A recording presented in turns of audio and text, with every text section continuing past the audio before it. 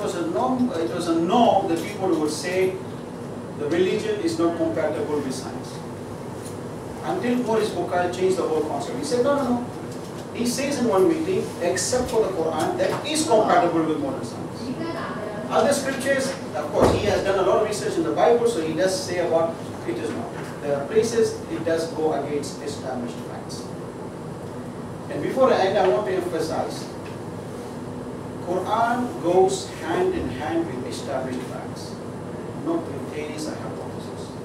Theories sometimes do take a U-turn. we assume this, but eventually when we do research, when we have the advancement of technology, we find out something. Like, for example, the sun. When I was studying in school, I'm sure people of my age, when you guys went to school, in your science, you're told everything was moving except the sun. Am I correct? Sun was stationary. Everything else was just moving. But recent discovery tells us even sun revolves. It's also moving. So again, see, and the Quran does clearly say the sun is also moving its own orbit. So modern science made a mistake a few years ago, now they changed it. So in this, in the final verse of the Quran, the Quran says, Praise be to God who created the heavens and the earth and made the darkness in the light. Yet those who reject faith in God Almighty take up equals with God Almighty something else that is no equals with Him. See, this is the purpose. The purpose of a creation, according to Islamic creed, is that you worship one true God and one another. And you take into no association with Him anyone, even Muhammad. We're not supposed to. God is God, messengers are messengers.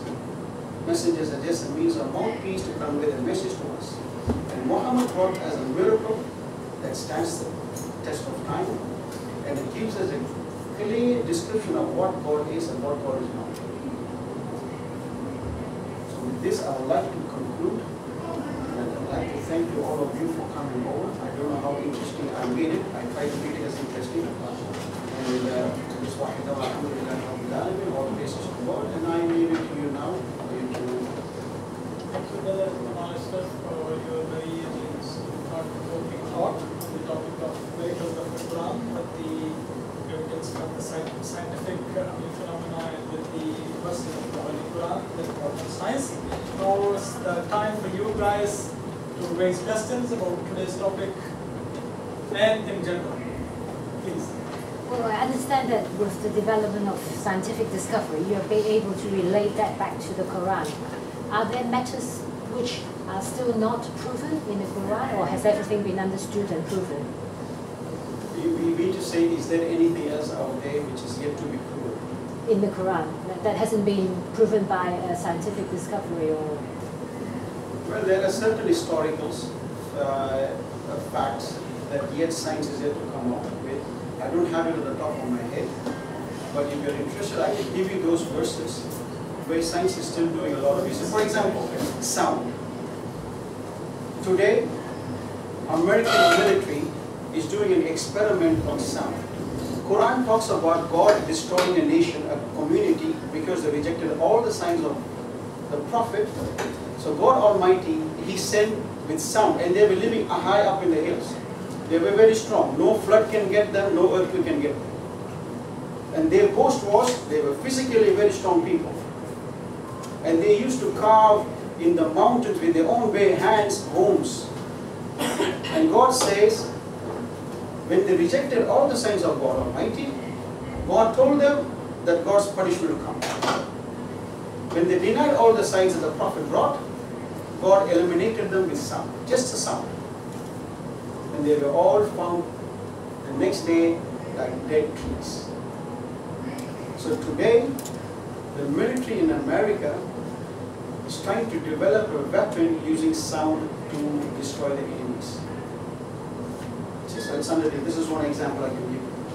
Still doing experiment, it has not come out, but soon they will find something that will be able to destroy uh, other nation with just sound.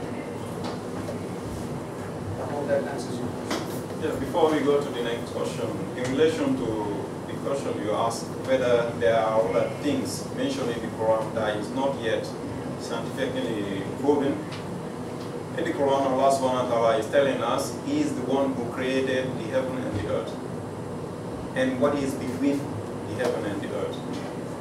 He is the one who created the living creature and the earth as well as those living in the heaven.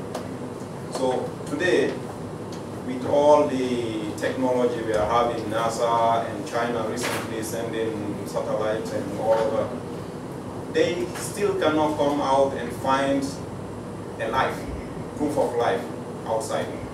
Although they are talking about finding traces of water on the moon or on Mercury or Mars, I think we have mission going there to explore these things.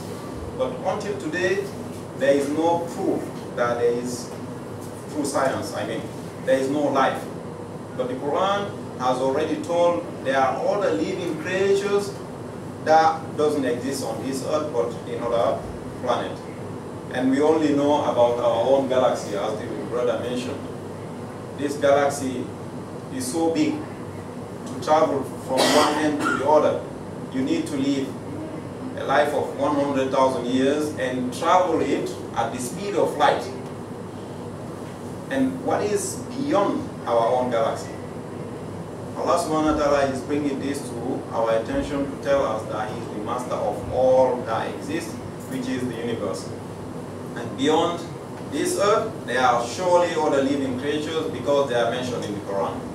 And uh, I don't remember the ayah, I cannot recall it uh, offhand, but uh, if I just do a little research, I can give you the reference where it's mentioned they are all alive. So if 50 years from now on or 10 years later you find that, it's a message for you. Allah subhanahu wa ta'ala has already given you the sign because the brother said, we will show you these uh, through you and the horizon that this is the truth. So he is showing you through that this Quran is the truth, you must follow it. It's not coming from me, it's not coming from Muhammad, it's not coming from Haq. It's coming from the Supreme Being who created us. So that's what I wanted to say on that. So I want to one. Yes. Uh, you quote the Einstein statement, Yes. science without religion is dead. Not from books, from your understanding what is science and what is religion. Can you elaborate? You see, Uh, Not so many explanations, just short. One word? Yeah. You want one word? I'll give you the Islamic perspective. No, no, your understanding. My own Because book can be read by anyone. You see, religion is what guides you to spiritual well-being. Religion is what guides you to spiritual well-being. It gives you a moral value. Your very existence is just on your moral values, not on the money you have, not on the wealth you have. Your legacy is where do you stand as, a, as an ethical person, as a person with morality. So spirituality gives you those paths to achieve that level. Science is something that affirms that God does exist. What science does is when you make discoveries, you see, we Muslims are taught from young age, when you see something that is spectacular, that amazes you, say subhanallah, which means glory be to. See? So the difference is, one takes you to the perfection of spiritual well-being, the other assists your spiritual well-being by giving you evidences that God does exist, and all these things could have not just come just like that. I hope that answers your question. Thank you very much. Thank you very much. Anything else, please? Yes, please.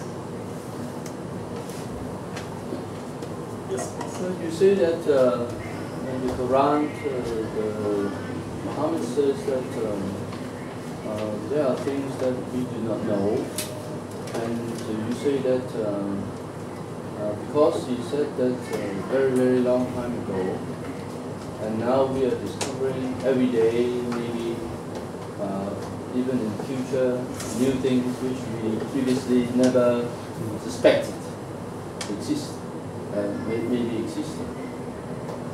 That, uh, to me, that is, of course, you can look at it uh, the way that uh, you do. uh, but to me, it just means that we are ignorant. We are ignorant not only of the things which we now know, which we, which previously we did not know. This is just uh, something very common. Uh, there's so many things that I do not know. There's so many things that uh, you do not know. There's so many things that most, uh, even the most intelligent uh, scientists do not know. So what is so surprising about that? And why do you say that that is a sign that uh, uh, that it came from God? Very interesting question the brother is asking. Uh, why we Muslim we believe that the work brought to us human being to the Prophet Muhammad peace be upon him is outstanding. Why not anything else? The brother just show you a picture of uh, Albert Einstein. He is a Nobel winner. Right? In which field? In physics, Physics. If you look at, uh, let's say, uh, Professor Kipling is a, a doctor, medical doctor who also is a prize, Nobel Prize winner. He's a professor at the University of Toronto in Canada. In which field? In biology, embryology. You look at uh, all, the, all these Nobel winners. Uh, there is another one from Bangladesh, uh, Yunus, what is it called? Dr. Yunus. In which field? In economics. Right? So they are showing distinction in one particular field of their studies. Then when we look at the Quran, it's giving this information to us that even though we have now advanced with so much technology and, uh, and science, there are still thousands of things that we cannot discover. Then you compare those Nobel Prize winners in each field to the knowledge brought to us by Prophet Muhammad, peace be upon him. In the Quran, you have this combination of all these disciplines of studies. You have biology, you have oceanology, studying the, the sea, deep sea water. You have uh, botany, studying the plant. The brother mentioned that these plant, the plants, they have feelings. They feel happy, they feel crying. The plant we eat, they have sexes, I mean gender. some plants have, uh, have uh, some plants are unisex. Okay, Uh, and then there, but there are also some, some, some fishes, they are unisex. okay, we are not talking about that particular topic only. We are talking about all these disciplines in general. Now you come to the conclusion that every discovery in this field is already mentioned in the Quran. How can you compare that? Through a man who didn't have the chance to go to school, who didn't have the tools these people are using today for you know, studying and doing their deep research, winning these Nobel Prizes. How can you compare them in each field to one single person combining all? Is that a miracle or not? Now, the, um, uh, I'm a Chinese. Right? Um, I study a book called La- Lou Zi. Lou Zi. It's one, one of them. Uh, Lao- Lao Tzu. Lao Tzu. Lao, Lao Tzu. okay. Taoism. Tao, Taoism. Taoism. Okay. Now, uh, he says that uh, now how does how does the world come into being?